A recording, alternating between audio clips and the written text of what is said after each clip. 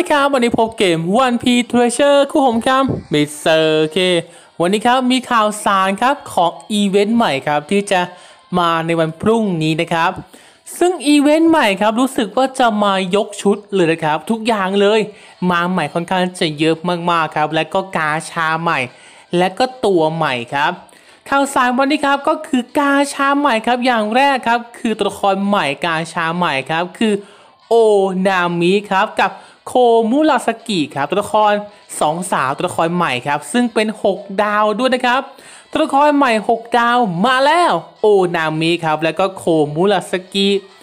กาชานี้ก็จะมาในวันที่ 27 ครับ ถึงวันที่ 4 เดือนหน้านะครับ วันที่ 27 ถึงวันที่ 4 เดือนหน้านะครับก็2ตัวละครใหม่ ซึ่งจะมีโอนามิกับโคมุราสกิแล้วก็ตัวละคร 5 ดาวตัวละครใหม่ครับ ก็คือเจ้า โอทามะกับโอคิคุนะครับโอทามะกับโอคิคุก็จะเป็นตัวอ่าเป็นตัวละคร 5 ดาวตัวละครใหม่นะครับ ส่วน skill ของเจ้าโคมุราสกินี้ผมว่าค่อนข้างจะดีใช้ได้เลยนะ skill กัปตันครับคือจะเพิ่มพลังโจมตีครับให้กับสายสีฟ้ากับสีม่วงครับสองสีนะครับสี่เท่าค่อนข้างจะเยอะนะครับสี่เท่าเลยเพิ่มเพียวๆไปเลยสี่เท่า และก็ทำให้ลูกแก้วสีฟ้ากับสีม่วงครับ เป็นลูกแก้วตรงสีของทีม และก็จะฮิวเลือดครับ 0.5 เท่าครับ ต่อการกด Perfect ยิ่งกด Perfect เยอะครับ ก็จะยิ่งฮิวแรงขึ้นนะครับ ก็จะอารมณ์คล้ายๆกับอาลูฟี่กับลอครับที่ถ้าหากกด Perfect ก็จะฮิวเพิ่มขึ้น 0.5 เท่าของค่า RCV ทั้งหมดนะครับ ยิ่งกด Perfect เยอะก็ยิ่งฮิวแรงขึ้น และก็จะมี skill ทำให้ถึกขึ้นครับ 20%แล้วก็ถ้าหากเป็นกัปตันครับ จะเพิ่มเงินครับ เพิ่มเงินที่จะ drop จากด่านครับ เพิ่มเงินเพิ่มขึ้น 2 เท่าครับ เมื่อจบด่านนะครับ ก็เป็นตัวละครครับที่เอาไว้ฟาร์มเงินก็ได้ เอาเป็นกัปตันก็ดีครับ ส่วน skill ไม้ตายครับคือจะอเปลี่ยนลูกแก้วทั้งหมดครับ เป็นลูกแก้วสีฟ้าหรือสีม่วง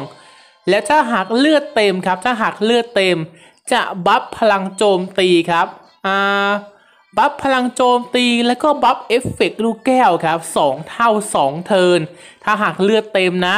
ถ้าหากเลือดไม่เต็มครับ จะ buff 2 เท่า แต่แค่ 1 turn นะครับ ถ้าเลือดไม่เต็มนะครับ ถ้าเลือดเต็ม buff ไปเลย 2 turn นะครับ ถือว่าเป็นตัวละครที่ผมคิดว่าดีใช้ได้เลยนะ เพราะ buff ก็แรงครับ buff ตั้ง 2 เท่าเนี่ย แถม buff ทั้งพลังโจมตี และก็เอฟเฟกต์ลูกแก้วด้วย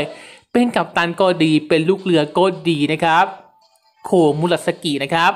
ต่อไปคือโอนามินะครับ โอนามิก็ skill กัปตันก็คือ จะลดเวลาของ skill ไม้ตายครับ ลงไป 2 turn นะครับ เมื่อเริ่มด่าน แล้วก็จะเพิ่มพลังโจมตีทั้งหมดครับ 3 เท่านะครับ แต่ถ้าหากในทีมครับมีตัวละครครับ 4 ตัวครับที่มีสีเดียวกันนะครับ ก็จะเพิ่มพลังโจมตีให้ 3.75 เท่านะครับ ซึ่ง skill ตรงนี้ครับจะคล้ายๆกับแชงค์สีม่วงครับ แต่แชงสีม่วงจะไม่เพิ่มพลังโจมตีเลย ถ้าหากไม่เป็นสีเดียวกันครับ 4 ตัวขึ้นไป อย่างเช่นอาของแชงนะ แชงเป็นสีม่วง แต่ในทีมเป็นสีเหลือง 4 ตัว ก็จะเพิ่มพลังโจมตีให้กับสีเหลือง 4 ตัวนั้น 3.75 เท่า แต่ของนามิครับ นามิเป็นสีอ่าสีฟ้า นามิเป็นสีฟ้าครับ ถ้าหากมีลูกเรือสีเหลือง 4 ตัว ลูกเรือสีเหลือง 4 ตัวครับ ก็จะเพิ่มพลังโจมตีไป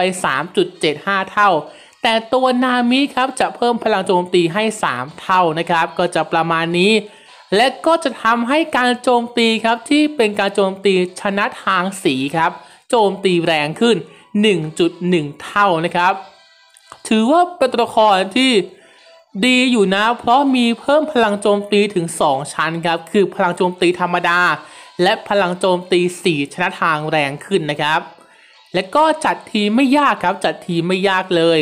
ส่วน skill ไม้ตายครับ เป็น skill ไม้ตายที่ผมคิดว่าว้าวโคตรครับ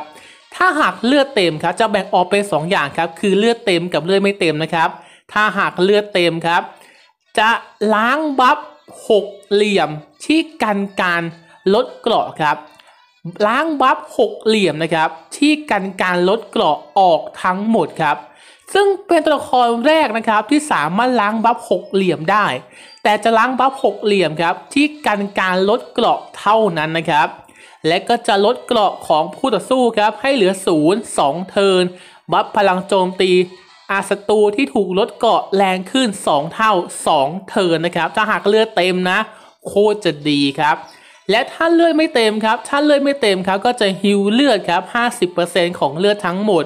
และก็จะลดพลังป้องกันของศัตรูครับ หรือลดเกราะเนี่ย จะลดเกราะของศัตรูครับ ให้เหลือศูนย์หนึ่งเทิน แล้วก็บัฟพลังโจมตีศัตรูที่ถูกลดเกราะแรงขึ้น 2 เท่า 1 เทินนะครับ เป็นตัวละครที่ผมคิดว่าดีมากๆ ใช้ตอนเลือดเต็มก็โคตรดี ใช้ตอนเลือดไม่เต็มก็โคตรดีครับ เป็นตัวละครที่ผมคิดว่าดีมากๆเลยนะ โอนามิเนี่ย ถ้าวัดกันครับ วัดกับสองตัวนี้โอนามิกับโคมุราสกิเนี่ยผมว่าโอนามิดีกว่านะครับ ดีกว่าในฐานะลูกเรือ แต่ถ้าดูในฐานะกัปตันเนี่ย ผมคิดว่าไอ้เจ้าโคมุราสกิเล่นง่ายกว่านะครับ เล่นง่ายกว่านะ แล้วก็กาชานี่จะแบ่งออกเป็น 3 part นะครับ part หนึ่งก็มาวันที่ยี่สิบเจ็ดถึงวันที่ 4 part สองมาวันที่ยี่สิบเก้าถึงวันที่ 4 part สามมาวันที่ 1 ครับ ถึงวันที่ 4 นะครับ กาชาใน part ที่ 1 ครับ เปิดครั้งแรก 30 เพชรเปิดครั้งที่ 2การันตีตัวละครใหม่ครับ 1 ตัวนะครับ ตัวละครใหม่ก็อย่างเช่น โอนามิโคมุราสกิโอทามะโอคิคุครับ4ตัวละครนี้นะครับ จะการันตี 1 ตัวนะครับ 1 ใน 4 ตัวนี้นะ เปิดครั้งที่ 3 ครั้งที่ 6 ครั้งที่ 8 ครับการันตีใบแดง 1 ใบ เปิดครั้งที่ 4 ครับ เพิ่มเลทออกอ่าการันตีตัวละครที่เพิ่ม rate ออก 1 ตัวนะครับ เปิดครั้งที่ 4 นะ เปิดครั้งที่ 10 ครับการันตีใบแดงตัวละครที่อยู่ใน list นะครับ เปิดครั้งที่ 12การันตีใบแดง การันตีตัวละครที่เพิ่ม rate ออกครับแบบสกิลไม่ตายเต็มแม็กหนึ่งตัวนะครับ เปิดครั้งที่ 14 การันตีใบแดงครับแบบสกิลไม่ตายเต็มแม็กนะครับ เปิดครั้งที่ 12ไอ้17 ถึง 20 17 กับ 20เอ้ยลิ้นพันกันละเปิดครั้งที่ 17 ครับ กับ 20 นะครับ ก็จะการันตีใบแดงตัวละครที่อยู่ในลิสต์แบบ skill ไม้ตายเต็ม max นะครับ และกาชาใน part ที่ 2 กับ 3 ครับ เปิดครั้งแรก 30 เพชรเปิดครั้งที่ 2 ครั้งที่ 4 ครับ การันตีตัวละครครับที่เพิ่ม rate ออก 1 ตัวนะครับ ครั้งที่ 3 6 8 การันตีใบแดง ครั้งที่ 10 การันตีใบแดงตัวละครที่อยู่ใน list ก็จะมีประมาณนั้นนะ ส่วนครั้งที่ 12 14 17 20 ก็จะเหมือนกันนะครับ ส่วนตัวละครครับที่อยู่ใน list ครับของแต่ละกาชาครับ กาชา part ที่ 1 ครับก็จะมี อาโคมุราสกิโอนามิไคโดครับ อยู่มาทุกกาชาเลยไคโดไคโดเนี่ยไคโด แล้วก็ชิราโฮชิแอมมันเชอรี่ลูฟี่แอลลอแครกเกอร์อาคาอินุเซโตอืมทำไมมีเซโตห้อยท้ายแฮะ รู้สึกว่าพาร์ทแรกแปลกๆให้มีไอ้เจ้าเซโตห้อยท้ายด้วยพาร์ทที่ 2 ก็มีโคมุราสกิอ่าไคโดพาร์ทสจะไม่มีโอนามินะครับ ในลิสต์เนี่ย จะไม่มีโอนามินะครับพาร์ทที่ 2 เป็นพาร์ทของโคมุราสกินะครับมีไคโด มีเอสหมัดหมาป่าอาคุซันล่างใหม่น้องต่ายครับแฟงกี้แล้วก็แชงสีม่วงนะครับพาร์ทที่ 3 ก็เป็นพาร์ทของโอนามินะครับ มีโอนามิ มีไคโด ไคโดมันอยู่ทุกกาชาจริงๆ ไว้เฮ้ย อยู่ทุกกาชาเลยไคโด แล้วก็ซาโบ and โคอาล่าบิบิจัง and รีเบคก้าหมาแมวคู่ อ่าเบดหกดาวซาโบสีเขียวนะครับ แล้วก็ลูฟี่รู้สึกจะเป็นลูฟี่เกียร์สี่นะครับ ก็ประมาณนี้นะ ส่วนตัวละครครับที่มันเพิ่ม rate ออกครับ ที่มันการันตีในการเพิ่ม rate ออกครับ ก็จะมีโอทามะโอคิคุสปีดโฮลเด็มแล้วก็แจ็คนะครับ ซึ่งเป็นอ่าเป็นตัวละคร 5 ดาวนะครับที่จะที่จะการันตีครับที่ว่าเพิ่ม rate ออกนั่นแหละ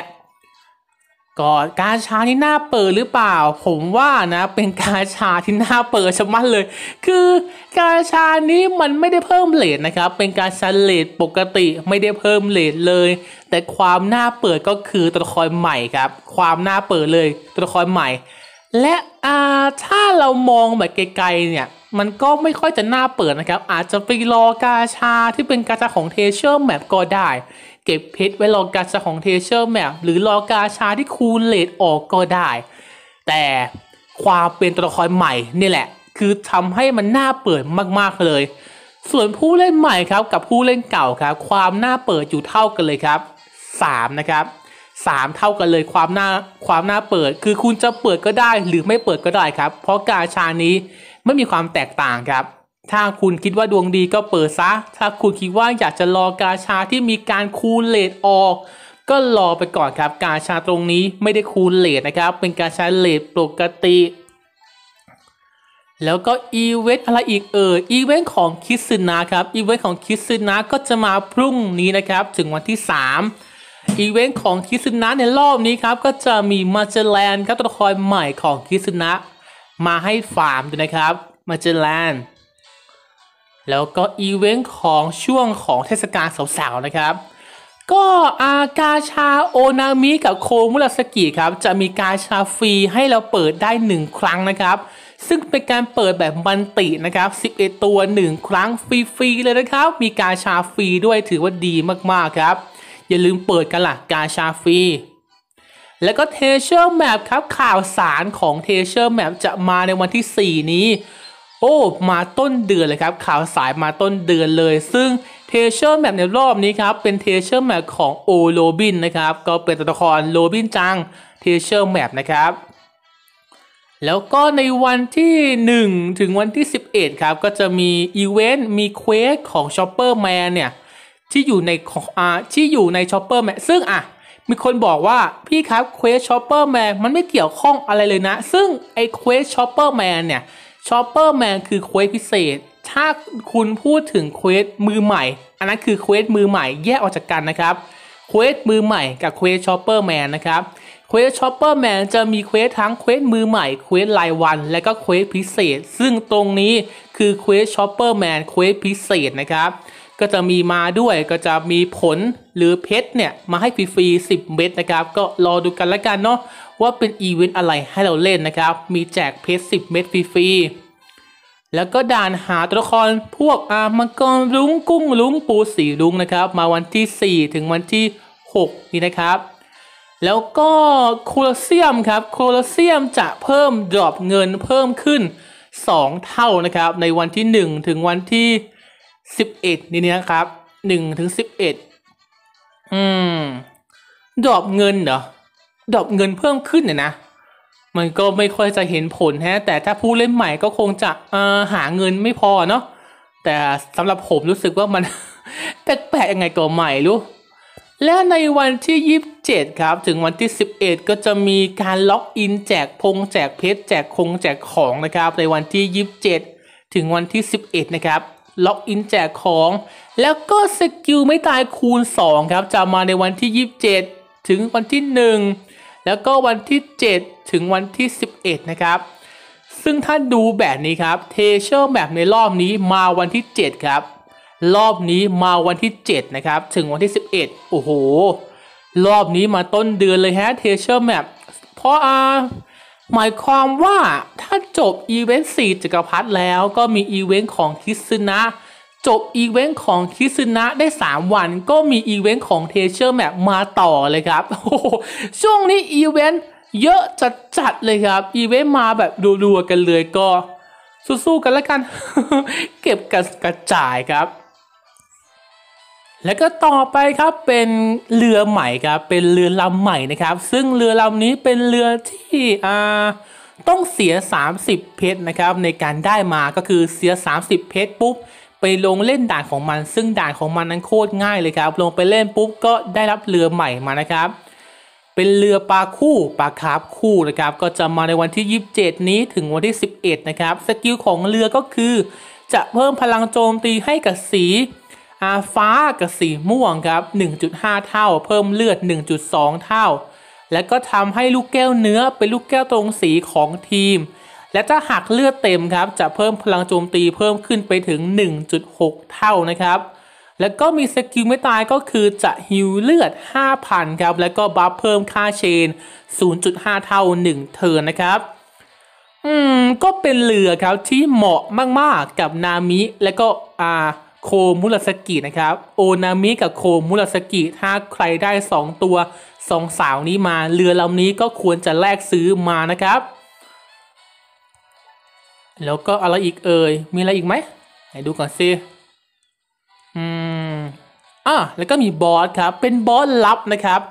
ตั้งแต่วันที่ 27 ครับ ถึงวันที่ 4 ครับ บอสลับจะเปลี่ยนไปแล้วนะครับ คือในช่วงตอนเนี้ยเป็นบอสลับของหนวดขาว แต่ในวันที่ 27 ครับ ถึงวันที่ 4 นั้นจะเป็นบอสลับของกราฟนะครับ วิธีการเจอก็คือคุณผ่านด่านที่เป็นด่าน ระดับยากสุดครับพลังงาน 60 ของด่านแคลสครับหรือด่านบอสทุกด่านครับมีสิทธิ์เจอกราฟทุกด่านนะครับในด่านที่ยากสุดหรือพลังงาน 60 ถ้าคุณผ่านก็มีสิทธิ์เจอกราฟทุกด่านนะครับเจอ 100%ด้วย ในวันที่ 27 ถึงวันที่ 4 นี้นะครับ โอเคข่าวสารก็มีประมาณนี้เนาะผมไม่ลืมอะไรแล้วนะอืมไม่ลืมแหละ โอเคครับ ก็มีประมาณนะครับ เป็นอีเวนต์ ของสาวๆนะครับ ซึ่งจะมาในวันพรุ่งนี้แล้ว แล้วก็อีเวนต์ของ 4จักรพรรดิก็มาเอ้ยก็จบในวันพรุ่งนี้นะครับ ช่วงนี้อย่าไปเปิดกาชาของ 4จักรพรรดินะครับ เพราะพรุ่งนี้อีเวนต์ก็หมดแล้วอย่าเปิดนะ ถ้าจะเปิดครับไปรอเปิดกาชาของสองสาวนี้ดีกว่ายังไงกันหรือไลค์กดแชร์กดตามเพื่อเป็นกำลังใจให้ผมนะครับลิงก์อยู่ใต้คลิปนะ สวัสดีครับ